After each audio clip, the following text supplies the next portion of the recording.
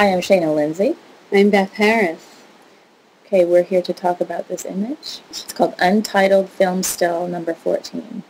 It does look like a film still. It does.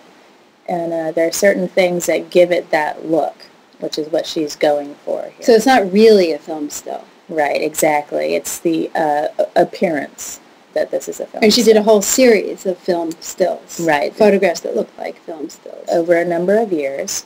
This is sort of at the beginning of that phase when she does that, so this is one of the earlier ones. And she wants all of them to look like they might be from some sort of a narrative. This is Cindy Sherman herself. Right, that's the thing that a lot of people don't recognize, um, that this is, she's in the photograph herself. She always dresses up and really kind of morphs, you know, from one She can really look really different in each of them. Exactly. She dresses up, obviously. Makeup helps. In this case, she's trying to look like she's in a 1960s, probably.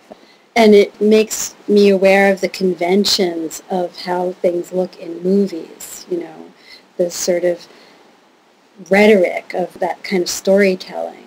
Exactly. The lighting, you know, she's, she's, you uh, know, just the way she moves her head, the, the look in her eye. right. In almost all of these film stills, she looks reactive. She's reacting to something. Right. which is part of what's giving us this clue that we're looking at something that's supposed to be narrative. So she's darting her eyes away. It's hard to say what people often read it in different ways, you know, disgust, fear, anxiety. Mm-hmm. She's never a totally self-possessed person. Mhm. She's always in relation to something that's like somehow outside of our frame of reference here. Mhm. I wonder what that says about being a woman. Right, exactly. And I think that's sort of what she's, you know, uh, some of the issue that she's trying to raise here, that um, perhaps our sense of self is contingent always on Mhm. something else. Mm-hmm. Women's sense of self is Mhm. always contingent on something. And that being a woman is always in some way a performance.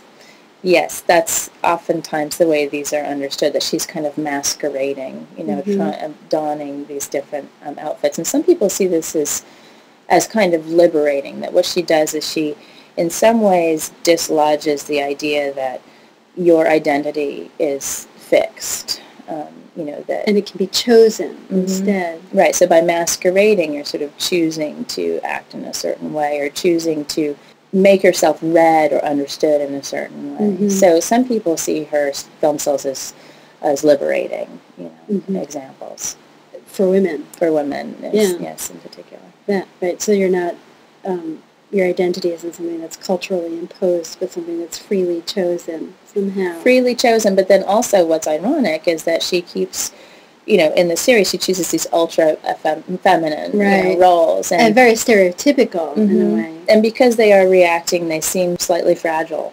So it's it, it plays on both things. But I think she wants to you know borrow the idiom from film. You know Mhm. that that was established by people like Alfred Hitchcock. You know Mhm. the blonde victim. You know to some degree. There- so something about to swoop down on her and Right. But nothing ever does. You know? And and it becomes also sort of about her practice, about Cindy Sherman's practice, as you know more so certainly than the narrative, which here does not exist. You know there is no story. they never told. develop into a story. Right, exactly.